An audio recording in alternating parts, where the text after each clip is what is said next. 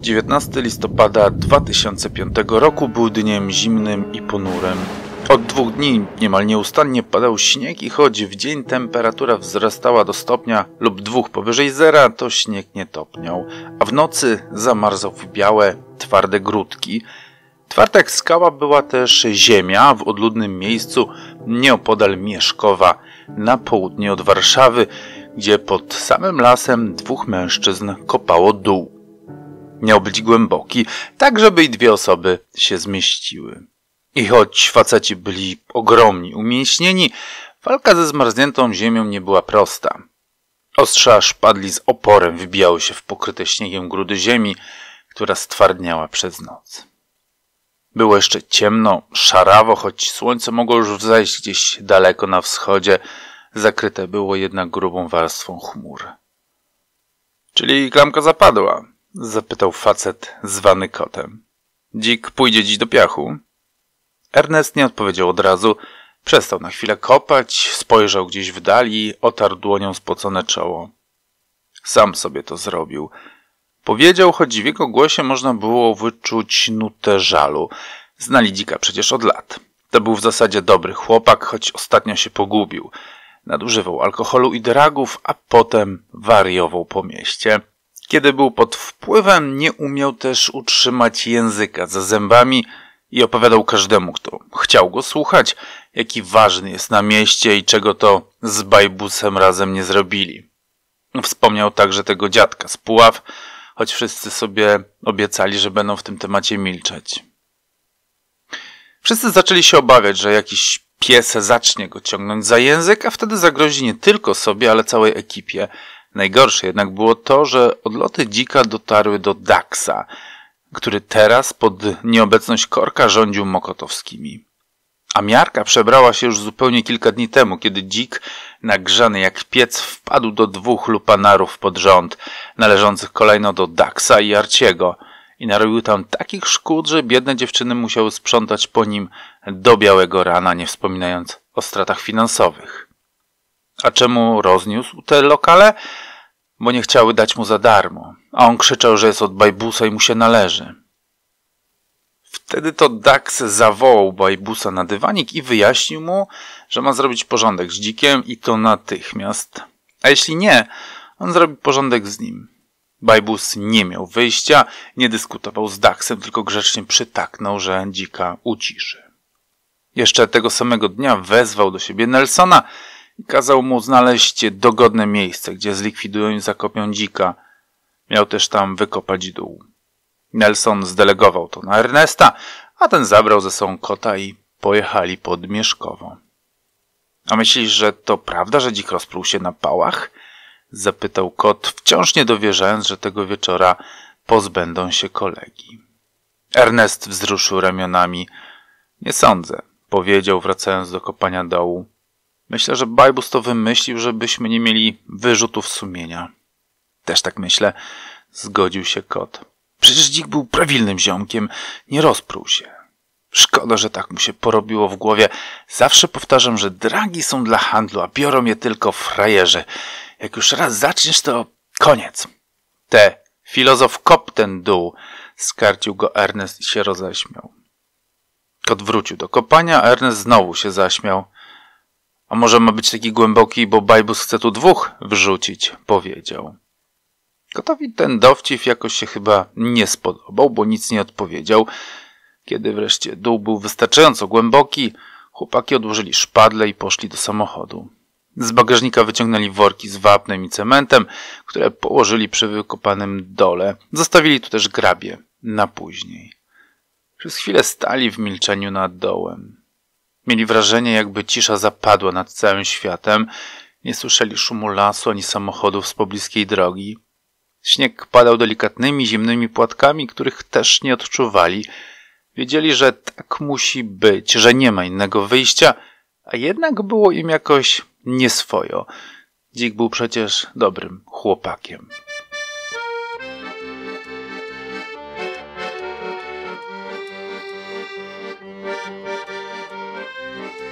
Kilka dni wcześniej Bajbus spotkał się z Bobkiem. Dla nikogo nie było tajemnicą, że dzik staje się kulą u nogi Mało tego jest naprawdę niebezpieczny. Jego wybryki mogą zaprowadzić do zatrzymania dobrych chłopaków i mogą przynieść wiele szkód. Śmierć nie jest adekwatna do tego, co on robi, powiedział z ciężkim sercem Bajbus Bobkowi. Ale czy przez niego znów mam iść do więzienia za darmo, za nic? Bobek przytaknął.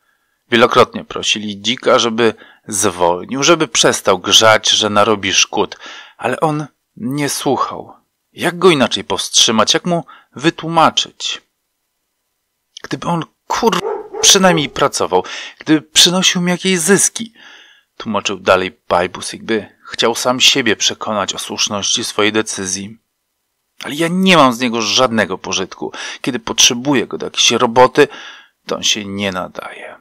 Dzwonię i mówię, żeby podłożył ładunek, bo taka jest potrzeba, kogoś trzeba nastraszyć, ponieważ nie chce płacić.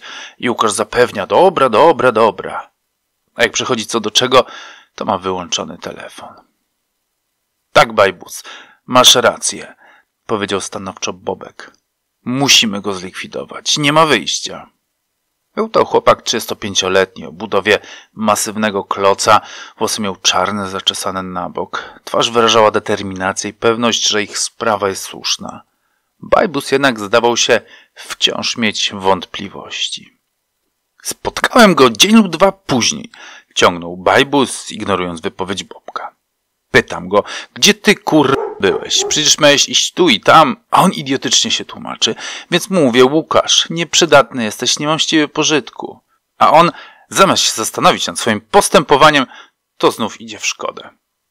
Wczoraj spotykam psa na ulicy, tego od maszyn, wiesz, i dowiaduję się, że rzekomo wysłałem Łukasza po haracz. Jaki kurw haracz? Pytam się go. Tak, Bajbus, powtórzył Bobek. Musimy się go pozbyć. Pamiętasz, jak wracał na prudy z dyskoteki na Mokotowie i pobił ekspedientkę? Za co? Że mu piwa nie chciała dać za darmo. I co on krzyczał, kiedy ją kopał? Że jest od bajbusa i mu się należy. Pamiętasz? I potem ciebie pały zgarniały, że wymuszasz haracze. Bajbus westnął i kiwał pochyloną na stołem głową, schowaną w jego wielkich dłoniach. Ile razy go ostrzegałeś? Przypomniał mu Bobek, wymieniając dalej przewinienia dzika. Mówiłeś mu, chłopie, zastanów się, co ty robisz. Uspokój się, bo to się dla ciebie źle skończy. Prosiłeś go raz, drugi i trzeci, a nic do niego nie docierało. Pamiętasz, jak po waszej rozmowie znowu poszedł na dyskotekę? Bramkarze nie chcieli go wpuścić, bo był napruty, jak szpadel. A on co? Zaczął krzyczeć, że jest od bajbusa, Pobił ochroniarzy, powybijał im szyby, zdemolował lokal. I znowu poszło to na twoje konto, że go po haracze wysyłasz. Bajbus był coraz bardziej zdecydowany. Bobek miał rację. Nie było innego sposobu na to, aby powstrzymać dzika. Pozbędziemy się go we dwójkę? Zapytał Bobek. Nie, odpowiedział Bajbus. Zbierzemy większą ekipę i załatwimy go razem. Bobek nie rozumiał. Im więcej ludzi wie, tym większe ryzyko wpadki. Bajbus spojrzał na niego porozumiewawczo. Pruszków rozbili, bo masa poszedł w koronę i się spruł. My załatwimy dzika razem. Każdy z nas będzie miał krew na rękach i nikt nie będzie mógł iść w koronę. Genialny plan, powiedział Bobek. Był pod wrażeniem. 19 listopada 2005 roku pod wieczór w Ulce Kosowskiej w klubie Mozart, jakieś 5 kilometrów od wykopanego tego ranka pod Mieszkowem dołu, zebrała się grupa Mozarta, to znaczy grupa Bajbusa. Miała być to normalna, regularna impreza. Panienki, alkohol, ścieżki koksu. Bajbus zaproponował w pewnym momencie zawody w piciu, do których natychmiast zgłosił się dzik. Zawodnicy mieli pić wódę szklankami. Dzikowi szło najlepiej i wszyscy mu kibicowali. Aż wreszcie był nieprzytomny, ledwo co się podnosił i z trudem bełkotał jakieś niezrozumiałe półzdania. Kiedy jednak Bajbus powiedział, że trzeba kogoś zawinąć i zawieźć go do lasu, żeby nastraszyć, bo szukuje i kręci chachmęci, dzik zgłosił się na chodnika. Jedziemy, powiedział. A kto to taki? Dowiesz się na miejscu, powiedział Bajbus. Pojechali dwoma samochodami. Po drodze dzik usnął i trzeba go było siłą wyciągać z samochodu. Był tak nieprzytomny, że wywrócił się na ziemię, na zimny śnieg i tylko coś sapnął i machnął ręką. Bobek i Ernest zaczęli go rozbierać. Chcieli zostawić jak najmniej śladów. Kot wyjął w międzyczasie linkę holowniczą z bagażnika. Dzik nieco przytomniał, ale nie rozumiał, co się dzieje. Był prawie nagi pośrodku niczego. Klęczał na ziemi w śniegu, a wokół niego stali jego koledzy, jego przyjaciele. Gdy co jest? Zapytał. Już jesteśmy? A wtedy kot zarzucił mu linkę na szyję i mocno ścisnął. To trzeźwiło dzika, zaczął się dławić i próbował wyrwać, ale ich było z siedmiu. Poznawał wokół siebie twarze swoich kamratów, które były wobec niego oschłe i obojętne. Trzymali go w kilku i zmieniali się. Każdy łapał za linkę i mocno ją zaciskał. Czy to jakaś gra? O co im chodzi? myślał dzik, walcząc o życie. Po kocie linkę ścisnął Ernest, potem dusił Dony, potem Leon, wreszcie Maniek, Bajbus, a na końcu Bobek. Oczy Bobka były ostatnimi, które dzik zobaczył, zanim zgasły jego. I nie zdążył wytrzeźwieć na tyle, aby zrozumieć, co się stało, a zwłaszcza dlaczego. Dziennikarka śledcza Ewa Ornacka pytała o te wydarzenia Bajbusa, kiedy ten już był na wolności. Miał szybką śmierć? Zapytała. Skąd ja mam to wiedzieć? Odpowiedział Bajbus obojętnie. Chyba tak. Ale stałem po prostu paliwo. Byłem tam po prostu. Podobne pytanie zadał redaktor Latkowski w serialu dokumentalnym Tajemnice polskiej mafii. Bajbus tak to pamięta. Znaczy stałem, to było w nocy, stałem tak gdzieś z, z 20 metrów od tego wszystkiego. Co zrobiliście z ciałem? Zapytała Ewa Ornacka. Wrzuciliśmy do dołu, który był wcześniej przygotowany, powiedział Bajbus. Kilka chwil stali nad dzikiem. Nie ruszał się, już nie harczał. Bajbus dał wtedy rozkaz, żeby wrzucić go do dołu. Nelson z Leonem go podnieśli, a Ernest zaprowadził na miejsce, którym rano kopali z kotem dół. Był już nieco przysypany śniegiem, ale odznaczał się wyraźnie na płaskiej polanie. Gdy wrzucili go do środka, zasypali zostawionymi tutaj wapnem i cementem, potem zakopali dół ziemią, a następnie wysypali na nim zebrane wcześniej zeschłe liście i rozgrebili je dla zatuszowania dziury. Śnieg wciąż padał i był im sprzymierzeńcem. Kot z Ernestem mieli jeszcze pozbyć się ubrań dzika. Pojechali z nimi do opuszczonego domu, który stał niedaleko i tam polali je benzyną, a potem spalili. Pozbyli się tym wszystkich dowodów, no i dzika. Nikt już nigdy nie miał go znaleźć. Co pan robił po powrocie z lasu? zapytała Ewa Ornacka Bajbusa. Pojechałem na dyskotekę no i przyjechałem do domu, położyłem się spać. Rano wstałem, poszedłem na siłownię. No i wsiadłem w samochód wieczorem, dzisiaj godzina 19 i pojechałem na miasto, no, zobaczyć co tam można. Nie miał pan wyrzutów sumienia? dopytywała dziennikarka. Nie, on był, pochodził z, z Ukrainy, także nie miał nikogo. Miał zginąć on albo miał zginąć pulpet, też z naszej grupy. No ale ze względu, gdyż lubiałem tego pulpeta, no to mówię, że, że nie, a ten był Ukrainiec, no to zgodziłem się, żeby po prostu e, on zginął. No.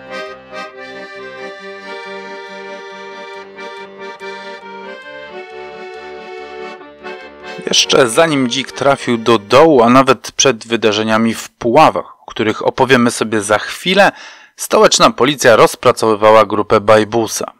Śledczy zaczęli się jej przyglądać w czerwcu 2005 roku.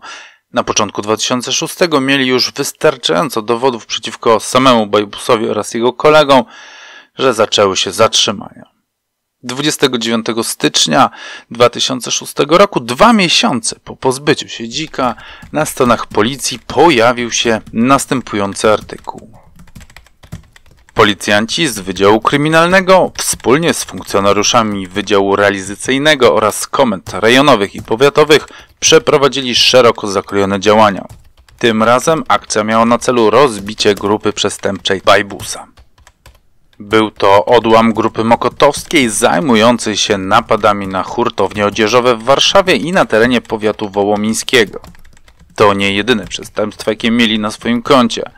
Posługując się policyjnymi mundurami, dokonywali przestępstw drogowych na tak zwanego policjanta.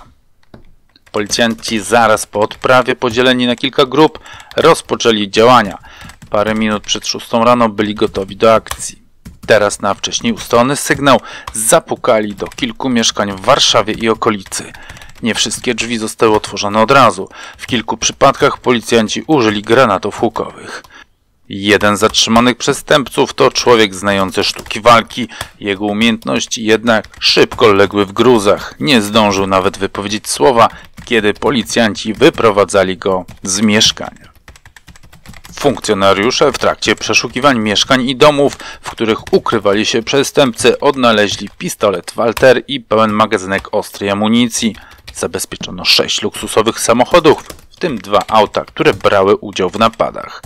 Trzech pośród zatrzymanych decyzją sądu najbliższe trzy miesiące spędzi w areszcie. Pozostali już niebawem staną przed obliczem sprawiedliwości. Na omach Gazety Wyborczej można było przeczytać krótką notatkę prasową o krzykliwym tytule Dorwali Bajbusa, gdzie możemy dowiedzieć się, co następuje. Groźny bandyta z wołomińskiej grupy ukrywał się na Redkini, łódzkim osiedlu. Tam zatrzymali go policjanci. 35-letniego warszawianina o pseudonimie Bajbus szukali funkcjonariusze z komendy stołecznej. Gdy się okazało, że gangster ukrywa się na redkińskim blokowisku w mieszkaniu swojej przyjaciółki, poprosili o wsparcie łódzkich policjantów. Policjanci podejrzewali, że Bajbus może być uzbrojony, dlatego do mieszkania, w którym się ukrywał, weszli szturmem przez drzwi i okno balkonowe. Bajbus odpowie za udział w zorganizowanej grupie przestępczej o charakterze zbrojnym. Miała matka syna, syna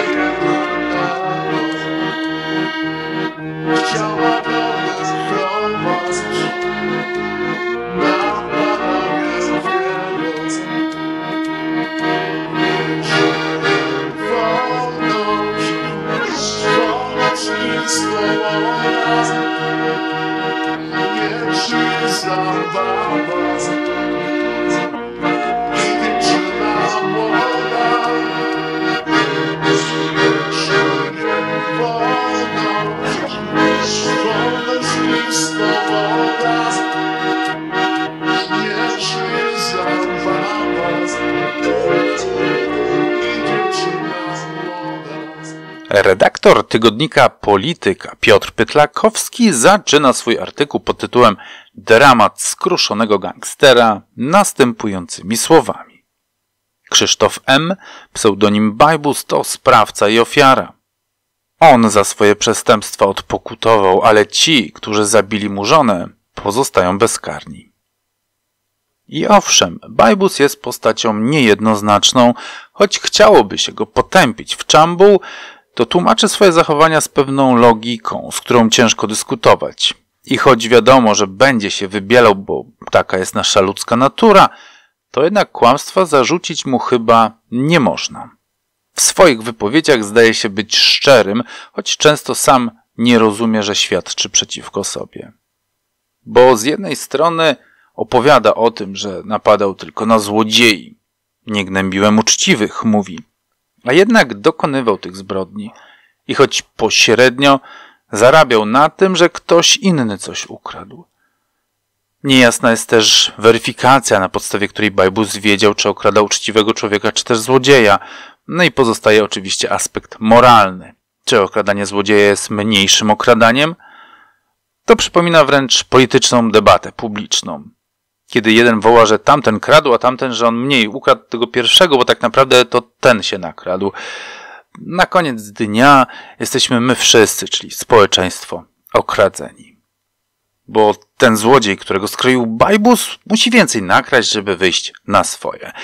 Ale pozostawmy ten wręcz akademicki dyskurs na temat etyki, bo my nie zamierzamy oceniać niczyjej moralności. Zwłaszcza, że dawni kompanii Bajbusa postanowili sami ocenić jego moralność, a nawet dać wyraz swojemu niezadowoleniu wobec niej i to w najgorszy, najpodlejszy i najbardziej obrzydliwy sposób, jaki można sobie wyobrazić. Zamordowali mu żonę. Bogu ducha winną kobietę, która nikomu nic złego nie zrobiła, a jej jedynym błędem było to, że wiele lat temu zakochała się w przystojnym, z pewnością zabawnym i być może elokwentnym Krzyśku. Ale o tym skurwysyństwie za chwilę. Posłuchajmy najpierw, co do powiedzenia na temat Bajbusa ma Andrzej H., zwany Korkiem, czyli facet, który przez lata uważany był za głównego, jeśli nie jedynego szefa grupy mokotowskiej. Gdybyście chcieli poznać go bliżej, a nie słuchaliście mojego ostatniego podcastu, podepnę też tutaj link. Niemniej Korek o Bajbusie w wywiadzie z Ewą Ornacką wypowiadał się następująco. Przyjął go do pracy Żyd. To było w 98. Wszystko legalnie. Wziąłem Bajbusa do maszyn. Jego żona prowadziła mały pub, gdzie można było wstawić kilka automatów do gier. Do 2004 roku, czyli przez 6 lat, Bajbus był w mojej firmie operatorem maszyn. Nawet kiedy mnie zamknęli, wszyscy kojarzyli go ze mną. Nikt mu nie psuł maszyn, bo był od korka. Rozwinął skrzydła, gdy już byłem w więzieniu. W życiu bym przecież nie dopuścił, aby on tak urósł. Nadawał się wyłącznie do przenoszenia maszyn. Na prokuraturze Bajbus zeznawał, że widywał się z korkiem codziennie. Zapomniał dodać, że od zaplecza firmy mnie widywał. Oburzał się korek. Jak operator maszyn przebywał z robolami. Cześć, nieroby próżniaki! Krzyczałem na ich widok z daleka, gdy przyjeżdżałem do firmy. Dzień dobry, panie Andrzeju! odpowiadał Bajbus, wyciągając ręce z kieszeni. Taka to była nasza znajomość. Posłuchajmy jeszcze, co w temacie Bajbusa miał do powiedzenia posterunkowy Stert, policjant, który był na pasku gangusów. W zeznaniach wypowiadał się następująco. Grupa Krzysztofa M. Bajbusa wchodziła w skład szeroko rozumianej grupy mokotowskiej. Początkowo wydawało się, że była ona kontrolowana przez Korka, ale zmieniło się to po wyjściu Bajbusa z więzienia w połowie 2005 roku. Wówczas Bajbus zapragnął samodzielności. Dwa, trzy razy w miesiącu odbywały się spotkania, podczas których planowano nowe napady i rozmawiano o dotychczas popełnionych przestępstwach. Bajbus lubił organizować takie spotkania, gdyż wtedy czuł się pewnie. Był to bardzo mądry człowiek. Bezwzględny, silny, wszyscy się go bali. Zawsze chciał pokazać, że to on rządzi i oczekiwał od wszystkich nadzwyczajnego posłuszeństwa. Lubił się przechwalać, jak bardzo jest mocny w świecie przestępczym. Władza Bajbusa nad pozostałymi członkami grupy polegała na tym, że musiał on być o wszystkim informowany. Drodzy Państwo, nie wiem, czy to dostrzegacie, ale wyraźnie każda z przetoczonych wypowiedzi się nieco różni. Sam Bajbus ma się za Janosika, Korek ma go za Robola, a Steryt za Wielkiego Wodza. A podkreślam to, abyście utwierdzili sobie to gdzieś z tyłu głowy. Nie tylko przy tej historii, ale każdej innej, którą słyszycie, że jest ona zawsze opisywana z jakiejś perspektywy, a każda z tych perspektyw może różnić się od pozostałych. Co paradoksalnie nie musi oznaczać, że ktoś mija się z prawdą. Jeśli chcecie, pozwólcie, zrobimy eksperyment. Wrzucę wam tutaj zdjęcie pewnej sukni. Napiszcie w komentarzu, jakich kolorów ona jest waszym zdaniem. Zatrzymajcie słuchowisko, popatrzcie na sukienkę, napiszcie w komentarzu, w jakich jest kolorach, a później przeczytajcie inne wpisy. Będziecie pod wrażeniem, obiecuję. Kiedy zatem ustaliliśmy sobie, że każda opowiadana przez nas historia jest opowieścią jakiegoś ja, które sobie wymyśliliśmy i które inaczej patrzy na te same wydarzenia pod innym kątem, przejdźmy do złożenia w całość faktów, które udało mi się zebrać w sprawie Bajbusa.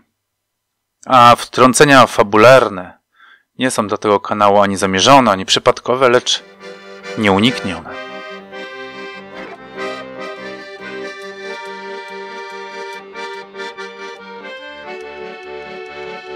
Sierpień 2005 roku.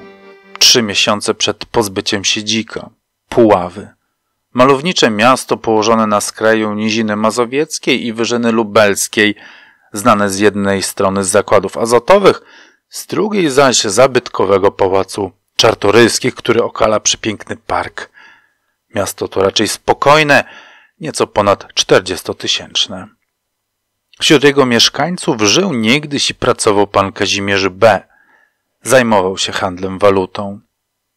Niejaki Andrzej W. zwany Donym, który właśnie dołączył do grupy Bajbusa, chcąc zabłysnąć, sprzedał chłopakom, że ów Kazimierz jest obrzydliwie bogaty i w domu ma co najmniej 300 tysięcy złotych w gotówce. Bajbusowi spodobał się pomysł napadu na tego mężczyznę i zorganizował ekipę. Pojechali w cztery samochody i było ich w sumie dziesięciu chłopa. Znani nam już Dzik za trzy miesiące świętej pamięci, Dony, Kot, Maniek oraz Antek zwany Chmielem. Były to wielkie chłopy przypominające fizycznie bardziej byka niż człowieka, pełni testosteronu i źle ukierunkowanej frustracji, przekonani o swojej nieśmiertelności i niepokonalności. Czuliśmy się bezkarni. E, w ogóle nie czuliśmy żadnego respektu przed nikim i w ogóle nam nikt nie mógł po prostu e, nic zrobić, no bo nie był w stanie po prostu nic, nic zrobić. No. Panowie czekali w pobliskim lesie, nieopodal domu Kazimierza B., w oczekiwaniu na zmrok. A kiedy ten już zapadł, Bajbus zabrał swoich najbardziej zaufanych żołnierzy, których przed chwilą wymieniliśmy, i poszli do domu. Reszta została na czatach. W kominiarkach, w rękawiczkach na dłoniach pod osłoną nocy podeszli pod dom. Noc była ciepła, sierpniowa, na bezchmurnym niebie migotały gwiazdy, czuć było zapach dojrzałych owoców i parującej ziemi. Wokół domu Kazimierza panowała absolutna cisza. Pomywacze dostrzegli, że jedno z okien jest otwarte i zdecydowali się wejść właśnie nim. Antek Chmiel złapał się parapetu i podciągnął ze zwinnością kota. Wskoczył do środka i nagle reszta usłyszała jakąś szamotaninę i stłumione krzyki. Szybko się zatem wdrapali i wpadli do środka. Ujrzeli Antka, który siedział na mężczyźnie przygwożdżonym do podłogi. Wykręcał mu rękę do tyłu i próbował obezwładnić. Od razu doskoczył do nich dzik, chwycił jego drugą rękę i też ją wykręcił, a nogami zablokował jego nogi. Wolną ręką wcisnął mężczyźnie coś do ust i zakneplował go taśmą klejącą, obwiązując mu kilkukrotnie głowę. Kiedy wreszcie go skrępowali, zrzucili go z tapczanu, na którym facet spał, na podłogę i ruszyli na przeszukiwanie mieszkania. Jedno z pomieszczeń było zamknięte. Antek naparł na drzwi ciężarem swojego ciała i je wyważył. Spostrzegł tam śpiącą starszą kobietę. Była to 93-letnia matka Kazimierza. Niewiele się zastanawiając, Antek skrępował kobiecie ręce i nogi i zaczął przeszukiwać pomieszczenie. Znalazł tam kilka monet euro, kilka dolarów i schował je do kieszeni. Więcej szczęścia miał dzik, bo trafił na kamizelkę, w której znajdowały się pieniądze. 17 tysięcy złotych. Kiedy ją zabierał, usłyszał paniczny krzyk kota, który został z panem Kazimierzem w pokoju. Kot krzyczał, że facet się nie rusza. Pierwszy podbiegł Dony i nożem rozciął mu taśmę na ustach. Wyciągnął z nich knebel i zaczął nasłuchiwać, ale nie wyczuł oddechu. Antek sprawdził mu puls, ale także niczego nie wyczuł. Zaczęli mu robić masaż serca, ale mężczyzna nie reagował. Niektórzy z nich zaczęli się niepokoić. Zabójstwo nie było w planie. Wreszcie Dony krzyknął, że reanimacja nie ma sensu, że trzeba się zbierać. W aktach sprawy przeciwko grupie Bajbusa możemy przeczytać, że Kazimierz B. na skutek napadu zmarł, a bezpośrednią przyczyną jego śmierci było złamanie lewego rożka kości gnykowej.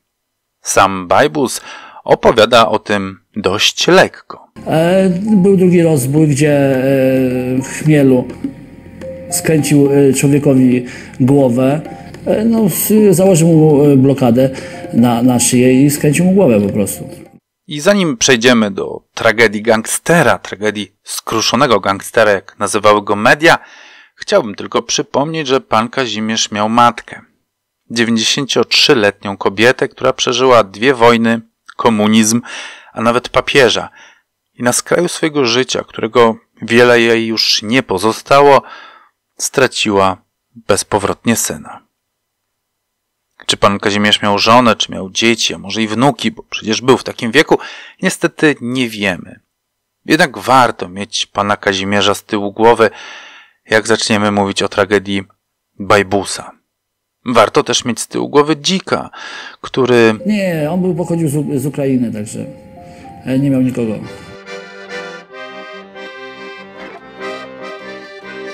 Sam Bajbus o swoich początkach opowiada podobnie jak Korek. W artykule dla Piotra Pytlakowskiego z Polityki mówi tak. Otworzyliśmy z żoną mały pub przy Złotej w centrum Warszawy. Któregoś razu przyszedł gość i zaproponował biznes. Wstawianie do pubów niskowygraniowych maszyn do gry. Miał ksywkę Żyd. Jak się potem dowiedziałem, był od słynnego Korka.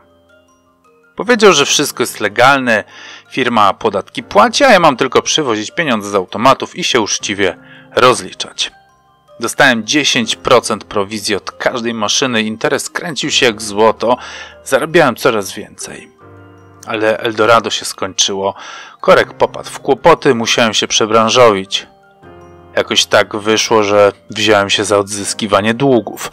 Znałem trochę sportowców, zapaśników i wojowników z KSW i MMA oraz paru policjantów, którzy też trzymali automaty do gry w pubach i potrzebowali kogoś do ich ochrony.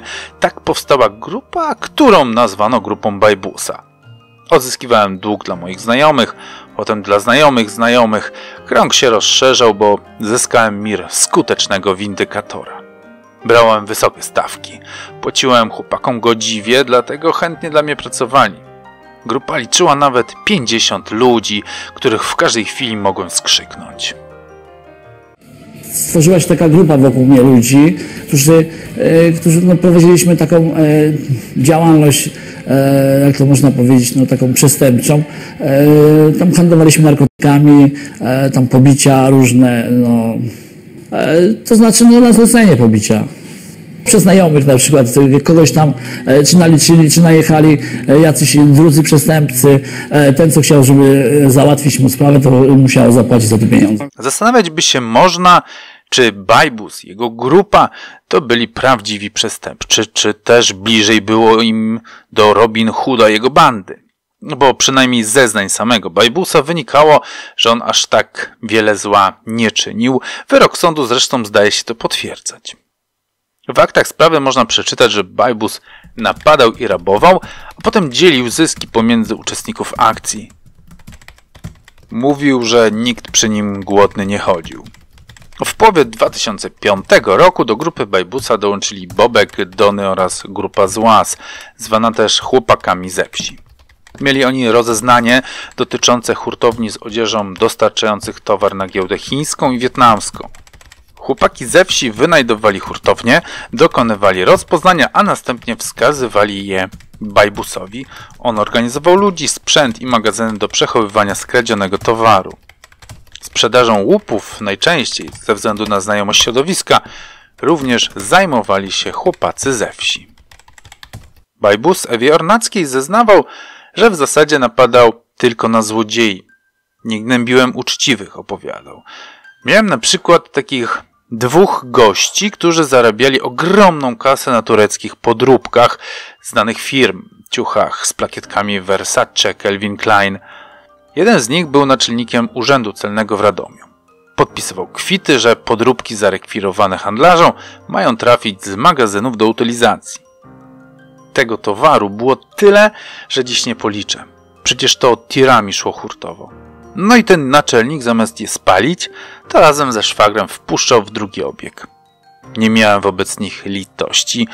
Po 50 tysięcy miesięcznie musieli mi płacić. Zastanawiam się jednak, czy pan Krzysztof bez Puław też mieścił się w ramach nieuczciwych ludzi.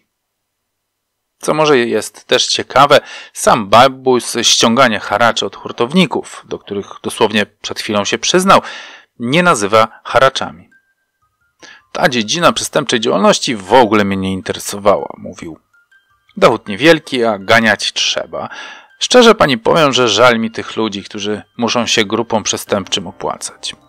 Sam prowadziłem interesy, wiem jak to jest, a tak w ogóle uważam, że jechać do kogoś po 100 dolarów to frajerski numer. Ktoś mógłby powiedzieć, że jak się pojedzie po 100 dolarów do 10 punktów, to jest już 1000 dolarów. Ale ja uważam, że szkoda czasu i paliwa. Lepiej jednego klienta skubnąć na 20 tysięcy, a potem odpoczywać w domu lub wydawać w sklepach zarobione pieniądze, niż latać po mieście i skubać drobne. To nie jest robota dla prawdziwych bandytów, tylko dziady z tego żyją i Gdyby nie to, że Babus bardzo nie chciał spędzać swojego życia za kratkami, co dosyć oczywiste, pamięć o nim i jego grupie rozmyłaby się wśród setek innych grup przestępczych, które co chwila powstają i znikają. Jako ciekawostkę powiem, że na początku lat 2000 takich grup działało w Polsce około 400, a przecież my słyszeliśmy zaledwie o garstce z nich. Grupa Bajbusa, która głównie zajmowała się napadami na hurtownie z majtkami, nie była grupą wyjątkową czy też w jakiś sposób ważną, czy liczącą się w półświadku. Doniesienia o kolejnych zatrzymaniach jej członków, choć przypominające licytacje, były lakoniczne i znajdowały się na ostatnich stronach gazet. Bajbusa, jak już wspomniałem, zatrzymano 29 stycznia 2006 roku. Zaś 19 lutego wyborcza informowała nas, że dwóch kolejnych bandytów z groźnego gangu Bajbusa zatrzymali stołeczni i łódzcy policjanci. Za kratkami siedzi już 11 przestępców. 7 marca Polska Agencja Prasowa podała komunikat, że stołeczni policjanci zatrzymali kolejnego, 12 już członka gangu Bajbusa, specjalizującego się w napadach na hurtownie, wymuszeniach haraczy i handlu narkotykami. Pod koniec marca było już 17 zatrzymanych, a pod koniec kwietnia 21. I wtedy zaczął się też kolejny wyścig. Kto, cytując omawiane środowisko, rozpruje się na pałach pierwszy? I znowuż mamy dylemat, komu wierzyć? Kto pierwszy się rozpruł? Czy był to na pewno Bajbus? Odpowiedź jest chyba oczywista. Jeden rabin powie tak, a inny powie nie. W nieautoryzowanym wywiadzie dla Ewy Ornackiej mówi więcej szczegółów. Ten konfident Bobek wystawił mnie psom, opowiada. Skąd to wiem? Tamtego dnia, gdy mnie zatrzymywano, miałem wyłączony telefon. Bobek powiedział, że go włączył. Miał dzwonić do mnie mój brat, ale nie zadzwonił. Za to trzy razy z rzędu wyświetlił się prywatny numer, a następnie zadzwonił Bobek i zaraz potem wpadły psy.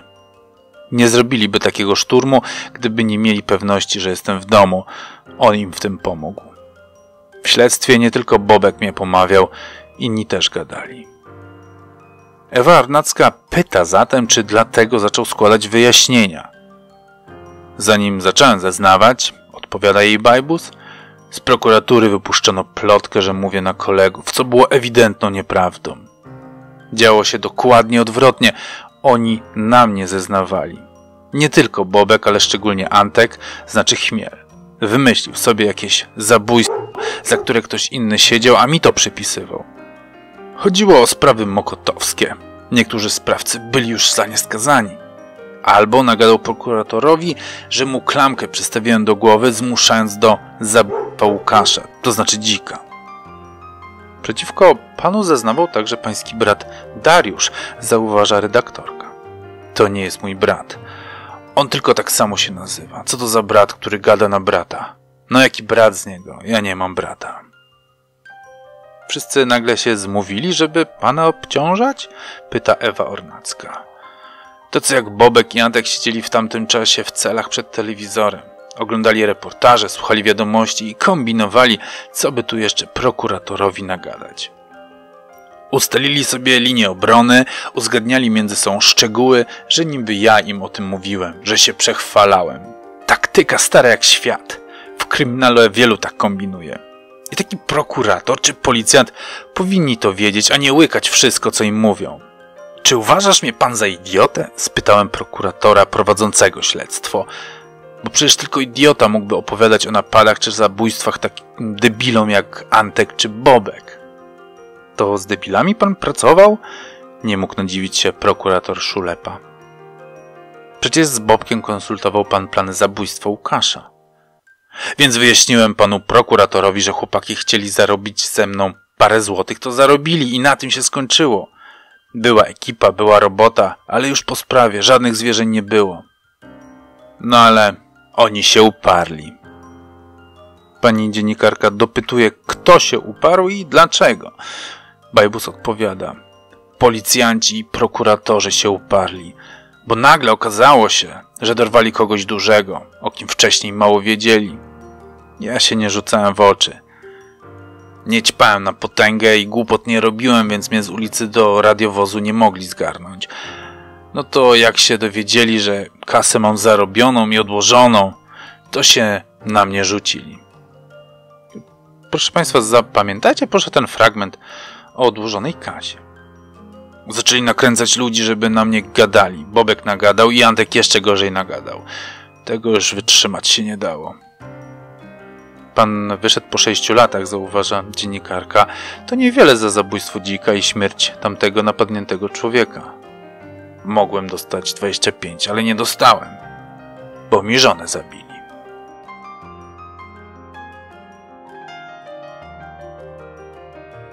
Do tej tragedii jeszcze dojdziemy. Na razie jesteśmy w połowie 2006 roku. Grupa Bajbusa została rozbita, a jej członkowie zaczynają na siebie donosić. Ludzie zrobią wszystko, żeby tylko nie iść do więzienia, żeby nie być osadzonym. Przekonałem się po, po tym, co zrobili moi koledzy, e, mistrze zrobili. Sami się zgłaszali. No, e, e, muszę panu powiedzieć, że połowa to się sama zgłosiła do prokuratury, żeby, że jak Ziobro ogłosił, że jak ci ludzie się będą zgłaszać sami do prokuratury, będą mniejsze mieli wyroki, to oni się sami zgłaszali i na mnie zeznawali. Ale czy powinno nas to dziwić? Absolutnie nie. To świat przestępców, ludzi z jakimś defektem w kwestii empatii, ludzi nastawionych na własny zysk, nie szanujący słabości. Pozwolę sobie zacytować wspomnianego przed chwilą Antka, słanego chmielem, którego Bajbus oskarża o konfiturstwo. W świecie przestępczym nie ma tak naprawdę żadnych zasad. Każdy każdego próbuje wypierdolić na kasę, a najlepiej innego miastowego lub byłego wspólnika, bo przecież on nie pójdzie na psy.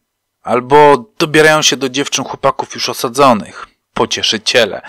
To są ludzie bez żadnych zasad moralnych, a chwalą się tym, jacy to oni nie są super. A przecież żyją z krzywdy innych ludzi i robią złe rzeczy. Za to są wielbieni, bo to niby ludzie z zasadami. Co za bzdura.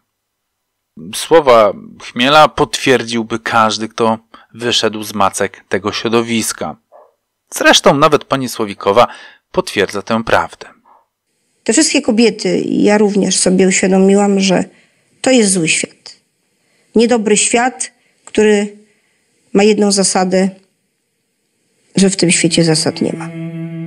Co mnie natomiast zmroziło, to wypowiedź pana redaktora Piotra Pytlakowskiego, który w dokumencie Sylwestra Latkowskiego Tajemnice Polskiej Mafii wypowiada następujące mrożące krew w żyłach zdania. To taki, taki znak współczesności. Pamiętasz lata 80., kiedy zasada była najważniejsza. Bycie człowiekiem, który nie pójdzie nigdy na współpracę, który nigdy na nikogo nie zakabluje. To były takie przykłady ludzi, którzy dostawali wysokie wyroki, chociaż mogliby utargować bardzo wiele, ale nawet wroga nie zakapował. No teraz to poszło w odwrotną stronę. Teraz przyjaciół się kapuje po to, żeby sobie załatwić układ, y, mały wyrok. Najlepiej zostać świadkiem, nie każdy może. Więc kiedy załamuje się solidarność grupy, kiedy komuś coś grozi, kiedy nagle zaczynają się areszty, zarzuty się sypią, to, to jest wyścig po prostu. Kto pierwszy, ten lepszy, żeby zeznać jak najwięcej, obciążyć jak najwięcej. Rodzaj targu, tak? Odsuwam od siebie podejrzenia albo, albo, albo przyznaję się też do, do, do wielu rzeczy, a to zostanie potem łagodnie potraktowane. No jest to rodzaj takiego spektaklu właściwie, w którym uczestniczy świat przestępczy. No to już nie jest ten sam świat przestępczy, który miał, dla którego liczyły się pewne zasady. Jak słyszymy, wypowiedź Pytlakowskiego jest sentymentalna, wręcz nostalgiczna, tęskna za jakimiś pięknymi czasami, gdzie bandyci trzymali się razem i na siebie nie donosili. I z jednej strony ta myśl jest jakaś perwersyjna, jak gdyby pan redaktor Pytlakowski uważał, że to było dobrze, że lepiej było, kiedy nie dało się rozbić grup przestępczych. Z drugiej jednak strony ta romantyczna myśl, romantyzująca, jak każda inna romantyczna, w sensie idealistyczna logika, ma ten problem, że nie ma żadnego związku z rzeczywistością, bo każdy bandyta, czy to z grupy zorganizowanej, czy działający samopas, grał, gra i grać będzie zawsze na siebie. Wybierze to rozwiązanie, które przyniesie jemu największy profit. Ktoś by mógł mi zarzucić, że przecież są tacy prawilni, którzy się nie rozpruwają. Ale to dlatego, że on wie, że tym nierozpruciem się więcej zyska i kiedy wyjdzie już za te kilka lat, będzie miał lepszą pozycję na mieście. Gdyby tej pewności nie miał, rozprułby się na pierwszym przesłuchaniu. Nie, moi państwo, w tym świecie nie ma prawilnych gangsterów. Tacy są tylko w filmach. Więc abstrahując od tego, czy Bajbus zaczął sypać pierwszy, czy nie, miał w swojej głowie jeden cel – wyjść na wolność tak szybko, jak to możliwe. A co może przehandlować prokuraturze człowiek, który w hierarchii jest, porównując do korporacji, kierownikiem niższego szczebla? Sprzedać tych, którzy pociągają za sznurki. Korek siedział już w areszcie, ale zeznania Bajbusa mogły pomóc podtrzymać sformułowane przeciwko niemu zarzuty. A na wolności pozostawał jeszcze Dax, a także Lepa, Archie i inni ważni przestępcy. Dzięki zeznaniom Bajbusa, który twierdził, że był z wierchuszką Mokotowa blisko, można było rozbić całą grupę mokotowską. I najprawdopodobniej tak wyglądał układ Bajbusa z prokuratorem. On sprzedaje bossów, a w zamian dostanie nadzwyczajne złagodzenie kary. Pod warunkiem oczywiście, że przyzna się do wszystkich zarzucanych mu czynów. I niezwykle znamiennym w takich przypadkach jest dla gangsterów przywiązanie do szczegółów. Bo redaktor Ewie Ornackiej żali się, że w aktach sprawy jest napisane, że to on handlował narkotyki. Wystarczyło, że ktoś powiedział, że ode mnie kupował, mówi, i nie potrzeba było na to innych dowodów. Zresztą przyznałem się do tego. Po co przyznawać się do czegoś, czego się nie robiło? pyta słusznie zdziwiona Ewa Ornacka. Dla mnie to nie miało większego znaczenia, odpowiada Bajbus, wzruszając ramionami. Zresztą sam prokurator mi powiedział, że to wszystko pójdzie do jednego worka. Na czym polega to czepianie się szczegółów? W wywiadzie mówi tak. Prowadziliśmy taką e, działalność, e, jak to można powiedzieć, no, taką przestępczą. E, tam handlowaliśmy narkotykami, e, tam pobicia różne, no, Zatem przyznaje się do tego, że jego ziomki handlowali. Być może on nigdy rzeczywiście fizycznie nie sprzedał ani pół grama, ale ludzie, którzy dla niego pracowali, to robili. Jednak gangusy albo tego nie rozumieją, że są to rzeczy powiązane, albo grają głupów, licząc na to, że my jesteśmy debilami. Gdyby ktoś nie rozumiał, co mam na myśli, jeśli film jest kiepski, bo aktorzy źle grali, to winny jest zawsze reżyser. To prezes firmy jest winny, jeżeli coś nie wychodzi. Nieważne, jedźmy dalej. Bo w tej wypowiedzi ubodła mnie jeszcze jedna rzecz, a wszyscy, którzy znają mój kanał dłużej, wiedzą chyba, jak ja mam podejście do wrzucania przestępstw do jednego worka. Na szczęście ja nie jestem prokuratorem czy sądem, bo ja za każde przestępstwo karałbym oddzielnie, jak w Stanach Zjednoczonych. W tym konkretnym przypadku, choć nie pochwalam, rozumiem logikę prokuratury, która wybrała tak zwane mniejsze zło. Łagodniejszy wyrok dla jednego gangstera, który może pomóc w zamknięciu większej grupy gangsterów, a zwłaszcza tych potężniejszych. Czy to sprawiedliwe? Nigdy w życiu! Ale zdaje się być skuteczne. Więc może nie powinienem się na to obrażać, tylko przyjąć do wiadomości. Ale co wy o tym sądzicie? Czy uważacie, że konfitura powinna dostać mniejszy wyrok, bo pomaga zamknąć tych potężnych bossów, czy też może priorytetem jest karanie każdego za każde przestępstwo? Naprawdę jestem ciekaw. Napisz, co o tym sądzisz.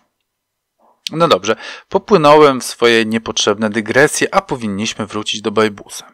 W 2006 roku najprawdopodobniej jego grupa na siebie donosiła i każdy przerzucał się swoją wiedzą o działalności przestępczej kolegów. Na początku 2007 roku ktoś przyznał się do tego, że zabili dzika. Czy był to Bajbus, czy któryś z jego kolegów, trudno powiedzieć. Pod koniec lutego 2007 roku aresztowany zostaje niejaki Zbigniew C., pseudonim Dax, o którym szerzej sobie jeszcze powiemy w jakimś innym odcinku. Co jest ważne dla naszej obecnej wiedzy, to że Dax, cytując samego Bajbusa, był drugim po Bogu, czyli pokorku. Był najważniejszy w strukturach grupy mokotowskiej, a poza tym Z nim nie ma o czym rozmawiać. To jest e, prymitywny, tak zacofany człowiek. Pozwolę sobie też zacytować anonimowego rozmówcę dla portalu gazeta.pl. Dax to był antyterror, charakterny bydlak. Przejął praktycznie wszystko po korku i zaczął jednoczyć gangi. Marzyła mu się reaktywacja mafii. Czy jego aresztowanie było wynikiem tego, że Bajbus poszedł na układ z prokuraturą? Trudno powiedzieć. Ciekawe jest jednak to, że to nie było pierwsze zatrzymanie Daxa, gdyż trafił on za kredki już w 2002 roku. Między innymi za tak zwane wymuszenie rozbójnicze. Nie posiedział jednak długo, bo już w maju 2005 wywalczył sobie przerwę w odbywaniu kary, cokolwiek to oznacza. I nie zgadniecie, jak tylko dostał tę przerwę, to nie wrócił do więzienia.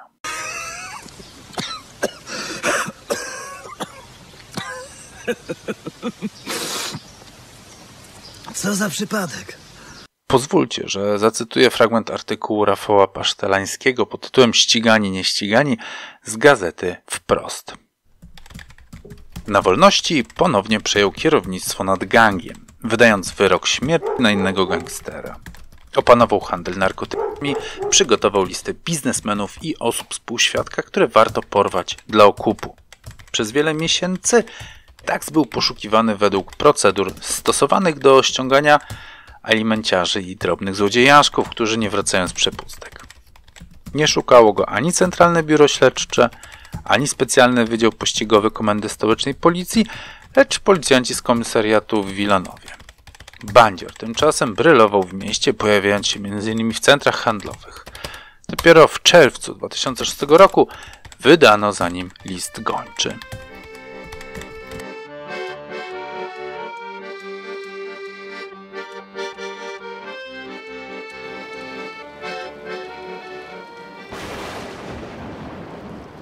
10 stycznia 2008 roku padał deszcz, a temperatura nad ranem wynosiła 4 stopnie Celsjusza. Na chodnikach Kobyłki pod Warszawą leżała błotnista plucha i miało się wrażenie, że jest późny listopad, a nie początek roku. Powietrze było popielate od smogu, a sine, gęste chmury kładły się ciężko na dachach domów. Ania obudziła córkę i wróciła do kuchni szykować śniadanie dla synka – Czternastoletnia wówczas Agnieszka przetorła oczy, spojrzała na szarość poranka i natychmiast wtuliła się z powrotem w miękką poduszkę, jeszcze ciepłą od snu. Zasnęła w mgnieniu oka, aż znowu zniecierpliwiony głos matki ją obudził. Spóźni się do szkoły, powiedziała Ania. Agnieszka coś odmamrotała, walcząc z grawitacją powiek swoich oczu, które za żadne skarby nie chciały się otworzyć. No ruszaj się, powiedziała Ania nieco głośniej, kiedy znowu pojawiła się w sypialni nastolatki. Agnieszka przybudziła się nagle, a kiedy kątem oka spostrzegła matkę, pomyślała sobie, daj mi spokój, starostrzędo. I choć nie wypowiedziała tych słów na głos, miała ich bardzo żałować kilka godzin później. Masz gdzieś zaliczenie, przypomniała matka. Lepiej, żebyś się nie spóźniła, bo cię wyleją ze szkoły. Agnieszka przykryła się kołdrą i coś sięgnęła ale Ania nie miała czasu na nastoletnie marudzenie. Położyła przy jej poduszce telefon z budzikiem i powiedziała, że musi lecieć po zakupy, a Agnieszka ma wstać najpóźniej za kwadrans. I przypilnuj, żeby młody wziął drugie śniadanie, dodała. Zanim wyszła z sypialni córki, zatrzymała się w drzwiach i po chwili zastanowienia cofnęła się i pocałowała ją w czoło. Kocham cię, moja mała buntowniczko, powiedziała Ania i wyszła. Agnieszka dwa razy ściszyła budzik w komórce, aż nagle usłyszała kilka huków, jak gdyby ktoś odpalił petardę, czy też kilka petard. Poderwała się z łóżka i zaczęła nasłuchiwać, ale to się już nie powtórzyło. Musiało mi się przyśnić, pomyślała, przeciągnęła się i ziewnęła. Zwlekła się z łóżka i poszła do kuchni, żeby zjeść śniadanie i przypilnować brata. W radio prezenter cytował przysłowie z kalendarza: Gdy słońce przygrzewa na Jana Dobrego, spodziewać się można lata pogodnego. Agnieszka westnęła tylko, patrząc na szarzyznę poranka i siępiący deszcz. W drodze do szkoły tę szarość rozświetlały słabe latarnie majaczące nad ich głowami. Ruch był tego dnia niewielki. Po drodze do szkoły nie spotkali w zasadzie żadnego przechodnia, a minęły ich zaledwie ze dwa samochody. Było cicho, szaro, pusto i smutno. Agnieszka nie była zdziwiona, że mama nie zdążyła wrócić, zanim poszli do szkoły. Nieraz już tak było, że zakupy się przyciągały. Ale kiedy po którejś lekcji do klasy weszła pani woźna i poprosiła ją, aby ta zabrała swój plecak i wyszła, bo dziadek po nią przyjechał, Agnieszce zapaliła się czerwona lampka. Do domu szła z dziadkiem w milczeniu. On był zamyślony i przeżuwał w ustach słowa, nie potrafiąc ich wypowiedzieć. Chciała go spytać o co chodzi, ale wraz z nim był jakiś ponury, jak pogoda tego dnia, facet z wąsem, który szedł za nimi krok w krok i też się nie odzywał. Agnieszka całą sobą wiedziała, że musiała stać się jakaś tragedia, choć pierwsze, co przyszło jej do głowy, że to coś z tatą. Może uciekł z więzienia, może ktoś mu zrobił jakąś krzywdę. Wreszcie niedaleko domu dziadek nieco zwolnił, najwyraźniej zebrał się w sobie i zdecydował się powiedzieć Agnieszce, dlaczego zabrał ją wcześniej ze szkoły. W jego oczach zaliśniły łzy, kiedy mówił i cały drżał.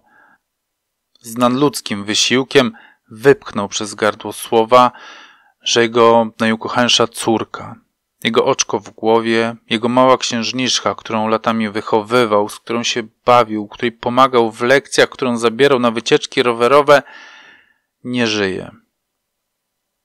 Agnieszce zrobiło się słabo. Cały świat nagle zawirował. Słyszała słowa dziadka, ale zarazem miała wrażenie, że to jakiś odległy bełkot, który przecież nie może być prawdą. Czyżby wciąż spała? To zły sen? Mama ją zaraz obudzi, powie jej, żeby się zebrała, bo ma dziś zaliczenie, a Agnieszka wtedy nie będzie marodziła, tylko od razu wstanie, pocałuje mamę i powie, że ją kocha. Ale z każdą minutą przekonywała się Agnieszka, że to nie jest sen. Że to prawda, że mama nie żyje. A dziadek nie potrafił powiedzieć jej wiele więcej.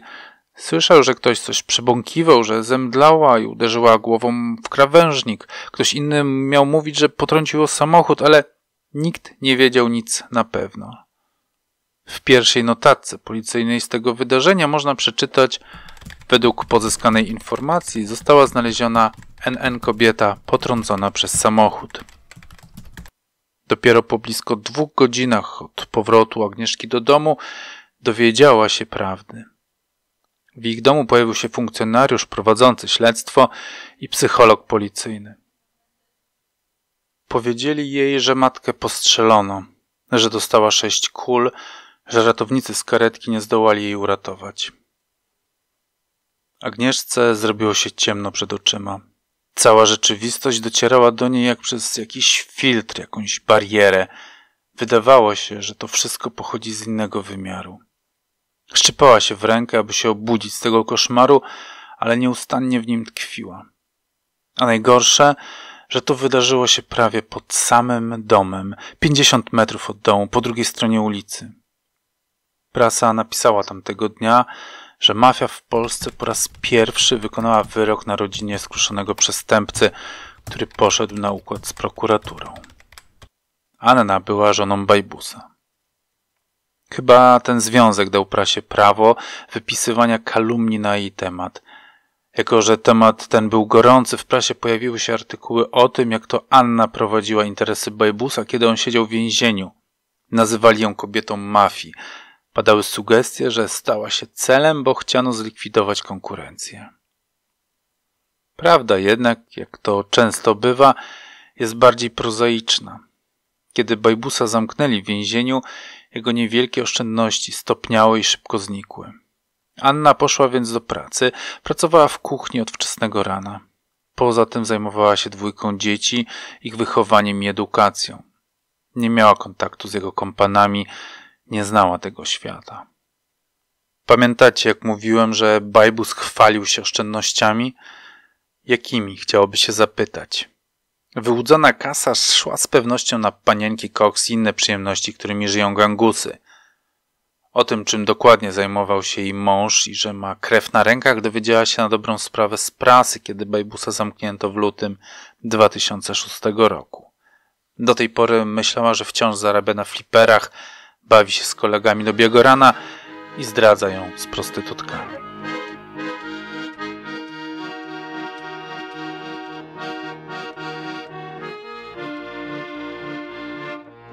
Tutaj zaczęła się kolejna rozgrywka ze słusznym pytaniem, kto stoi za śmiercią Anny.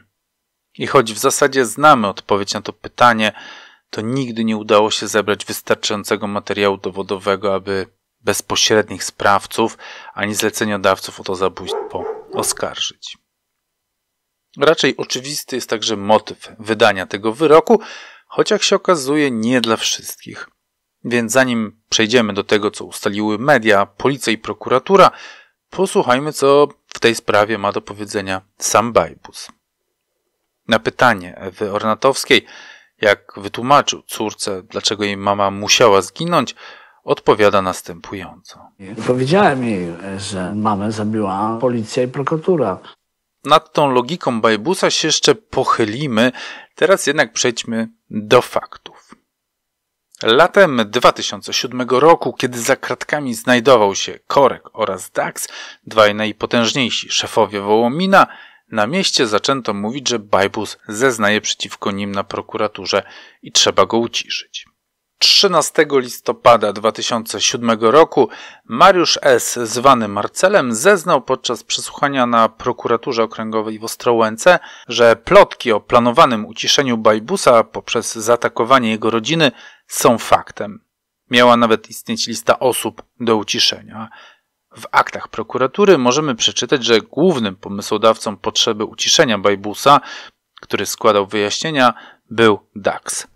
Marcel zrelacjonował prokuratorowi przebieg dwóch spotkań w restauracjach na terenie Warszawy, w trakcie których mężczyzna o pseudonimie Dony z grupy Mokotowskiej miał być nakłaniany przez mężczyznę o pseudonimie Wojtas albo przez Daxa do dokonania zabójstwa matki lub żony Bajbusa.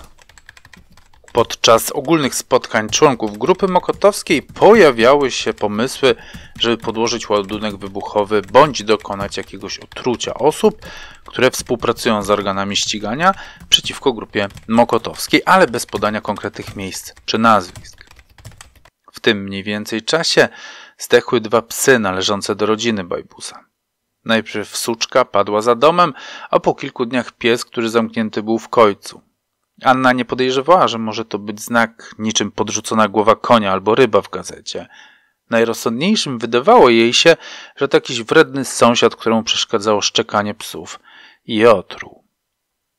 I uwierzcie mi, tacy debile chodzą po świecie. Znam kilka takich przypadków, choć sprawcę pewnie ciężko znaleźć. Wracając jednak do Anny, opowiedziała to mężowi przed świętami Bożego Narodzenia 2007 roku. Bardzo go ta wiadomość zaniepokoiła, ale co mógł zrobić? Zgłosił to oczywiście na prokuraturę, ale nikogo te psy nie obeszły. Nie wzmożono ochrony Anny i jej dzieci. Czy była to niekompetencja, czy też celowe działanie, aby przymusić Bajbusa do składania zeznań, nie dowiemy się zapewnie nigdy. Przyjrzyjmy się jednak, co prokuratura w Ostrołęce zrobiła z informacją uzyskaną od Marcela, że istnieje taka lista, na której są nazwiska osób do sprzątnięcia. A jako ciekawostkę dorzucę jeszcze, że na tej liście nie znajdowali się tylko gangsterzy i ich rodziny, lecz także policjanci i prokuratorzy prowadzący śledztwa przeciwko Mokotowskim. Jako, że nie umiałbym opisać tego chaosu własnymi słowami, posłuszmy się cudzym słowem, a mianowicie częścią artykułu pani Ewy Ornackiej oraz fragmentami prokuratorskich akt. Protokół z informacjami o planowanej egzekucji po trzech dniach od przesłuchania Marcela trafił do CBS w Warszawie, bo tam znajdowały się akta główne sprawy. Funkcjonariusze przydzieleni do śledztwa mieli na bieżąco weryfikować wiarygodność podawanych przez Marcela informacji. Sęk w tym, że policjant, który trzymał to wszystko w garści, był tamtego dnia poza firmą. Prokurator, który przyjechał do Warszawy, przekazał protokół aspirantowi niezwiązanemu z prowadzonym śledztwem. Aspirant miał go dostarczyć na biurko właściwej osoby, lecz zamiast tego wsadził protokół z przesłuchania do szafy, a nie do akt. Aspirant tłumaczył się tym, że nie był pewien, jakie dokumenty otrzymał od prokuratora, gdyż znajdowały się one w koszulce foliowej i nie przeglądał ich zawartości. Zwrócił uwagę jedynie na pierwszą stronę dokumentów, na której były tablice poglądowe i nie był w stanie powiedzieć, czy był tam protokół z przesłuchania z dnia 13 listopada, czy nie. Otrzymane od prokuratora materiały schował do szuflady z uwagi na to, że wyjeżdżał służbowo na kilka dni do Gdańska. Dopiero po telefonicznej interwencji prokuratora odnalazł przekazane mu dokumenty, ale nie potrafił określić, jak długo pozostawały one w jego szafie, kiedy miała miejsce jego telefoniczna rozmowa z prokuratorem. Przesłuchany w charakterze świadka prokurator zeznał, że w jego odczuciu informacje przekazane przez Marcela o zagrożeniu ze strony grupy mokotowskiej nie miały realnego charakteru. Były dość ogólne i dotyczyły dość odległego okresu czasu. W odniesieniu zaś do osoby Krzysztofa M., prokurator zeznał, że fakt składania przez Bajbusa wyjaśnień w procesach grupy mokotowskiej był wiadomy co najmniej od półtora roku i dlatego jakiekolwiek zagrożenie, jeśli istniało wobec niego jego rodziny, utrzymywało się już od dłuższego czasu. Prowadząca śledztwo o niedopełnienie obowiązków przez funkcjonariuszy prokurator Reneta Sławek-Budrewicz z prokuratury okręgowej Warszawa-Praga zdjęła ze wszystkich poczucie winy. W postanowieniu o umorzeniu śledztwa z 18 września 2008 roku napisała Przeprowadzone w niniejszej sprawie postępowanie przygotowawcze nie wykazało, aby pomiędzy zachowaniem wyżej wymienionych funkcjonariuszy, którego nie można traktować jako niedopełnienia obowiązków, a śmiercią Anny M. istniał związek przyczynowy. Do tej tragedii doszło nie z winy prokuratora czy też policjantów, lecz na skutek działania osób trzecich, które są w pełni odpowiedzialne za tę zbrodnię. Osobami trzecimi odpowiedzialnymi za tę zbrodnię są prawie na pewno Dax, który ją zlecił, oraz dwóch mężczyzn, którzy to zlecenie przyjęli. Dowiedziałem się z sprawy, jak wyszedłem na wolność, że mają zamordować mi matkę albo żonę. Centralnie mówił, że Dax, no i że on obserwował na zlecenie Daxa w, na, w zemście, w zemście za to, że ja go obciążyłem zeznania, zeznaniami. Drugi człowiek zeznał, mój kolega, że Dax w, w, w restauracji zlecał mu zabójstwo mojej żony, ale on nie przyjął, bo moją żonę znał i nie, nie chciał przyjąć te, tego zlecenia. Ale powiedział, że znajdzie się jakiś następny, no i e, znalazł się następny, który to zrobił. Tony, pomysłodawca napadu na pana Kazimierza z Puław, przesłuchiwany przez policję, potwierdził, że na początku 2006 roku spotkał się z Daxem. W trakcie rozmowy Dax zaproponował mu zabicie kobiety. Podczas tego spotkania nie ustalono jednak żadnych szczegółów, a niedługo później Dax został aresztowany i Dony więcej z nim na ten temat nie rozmawiał. Świadek dodał, że wiosną 2007 roku został zaproszony na spotkanie grupy mokotowskiej, na którym nieznany mu wcześniej mężczyzna, przedstawiony jako przywódca powyższej grupy, spytał go, czy wie, gdzie mieszka Bajbus. Świadek potwierdził i opisał położenie domu Bajbusa w Kobyłce. Następnie mężczyzna ten powiedział, że planowane jest uprowadzenie syna Bajbusa i ma on wskazać dom w Kobyłce, gdzie mieszka jego rodzina. W konsekwencji Dony kilka dni później wskazał przedmiotową posesję dwóm mężczyznom, których rozpoznał ze zdjęć na tablicy poglądowej. Ci dwaj to miał być Norbert D. Szlugu i Mariusz S. Marcel. Choć oczywiście się do tego nie przyznają, Szlugu stanowczo zaprzeczył, by miał cokolwiek wspólnego ze zbrodnią i by rozmowa, o jakiej opowiadał Dony, w ogóle się odbyła. Powiedział, że nie znał Bajbusa, a o śmierci jego żony dowiedział się z telewizji. Marcel natomiast twierdził, że jego wiedza pochodzi od Donego. Dony miał mu powiedzieć, że mokotowcy chcą zabić Bajbusa, ale że ten siedział, postanowili uderzyć w jego rodzinę. Ale czy Szlugu i Marcel mogli być wykonawcami wyroku? Na to nie ma żadnych znanych nam dowodów. Sam Bajbus twierdzi, że z zeznań Donego wynika, że brudnej roboty mieli się podjąć Szlugu i Wojtas. Tak zaznawał podobno także jeden ze skorumpowanych policjantów. W innych zeznaniach pada jeszcze nazwisko niejakiego Huberta. To wszystko brzmi jak wiele pomówień i mało faktów oraz dowodów i choć Bajbus absolutnie się z tym nie zgadza, bo jego zdaniem wszystko w tej sprawie jest oczywiste, prokuratura podjęła inną decyzję. W postanowieniu o umorzeniu czytamy. Wobec faktu, iż w chwili obecnej wyczerpane zostały możliwości dalszego poszukiwania, powyższe postępowanie należało umorzyć z uwagi na niewykrycie sprawcy czynu. Warto w tym miejscu chyba przypomnieć nie tak oczywistą rzecz, że umorzenie sprawy nie oznacza wyrzucenie jej do kosza. Takie sprawy umarza się ze względów formalnych, ale policjanci nadal nad tym pracują. Zresztą prokurator w uzasadnieniu umorzenia postępowania wyraźnie to podkreśla. Nadal jednak będą gromadzone i aktualizowane informacje pozaprocesowe mogące mieć związek z przedmiotem śledztwa, pisze. W razie ujawnienia nowych istotnych okoliczności postępowanie niniejsze zostanie niezwłocznie podjęte. Bajbus z tą decyzją nie chciał lub nie chce się pogodzić. W rozmowie z Pytlakowskim mówi: Coraz częściej myślę o tym, że wszystko było ułożone. Ktoś się dał bandytom glejt bezpieczeństwa, ktoś im pomagał, przekazywał informacje. Zabili moją kobietę, dwa razy podpalili dom, a ci, którzy mieli chronić mnie i moją rodzinę, odwrócili się tyłem. Żonę zabito mi dlatego, że policja mnie zmuszała do wyjaśnień. W takie wyrachowanie policji i prokuratury osobiście nie wierzę. Lecz można zrobić sobie grę umysłową i zadać sobie hipotetyczne pytanie, czy policjant lub prokurator całe życie walczący z takimi ludźmi jak Bajbus, czyli złodziejami, bandytami, wreszcie mordę, będzie z takim samym zapałem, jak pracuje dla tak zwanych ludzi uczciwych, pracował dla kryminalisty? Wiadomo, prokuratura i policja to urzędnicy państwowi i obowiązują ich pewne reguły, ale poza tym to też ludzie i o ile w ściganiu przestępcy mogą robić płatne nadgodziny, bo czują w tym misję, to w porachunkach między grupami będą też dawać z siebie wszystko? Nie chcę nic sugerować, ale jak ty byś, droga słuchaczko, drogi słuchaczu, się zachowała, zachował w podobnej sytuacji? Ewa Ornacka zapytała Andrzeja Krawczyńskiego, pseudonim Kawior, byłego szefa Wydziału do Walki z Terrorem Kryminalnym Komendy Stołecznej Policji, czy on współczuje Bajbusowi i jego rodzinie. Kawior odpowiedział, Współczuć mogę rodzinie policjanta, który zatrzymał pojazd na poboczu, aby komuś pomóc, a sam zginął potrącony przez ciężarówkę. Rodziny żyjące z przestępstw wiedzą przecież, że pieniądze, jakie wydają, nie pochodzą ze sprzedaży rowerów, tylko z bólu i krzywdy innych ludzi, nie wyłączając śmierci.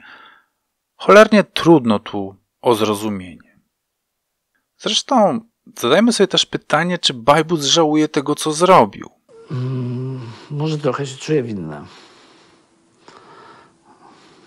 Nie było to rozsądne, żeby jechać do tej prokuratury, także. No, ale nie wiedziałem, że ci ludzie coś takiego mogą zrobić. No.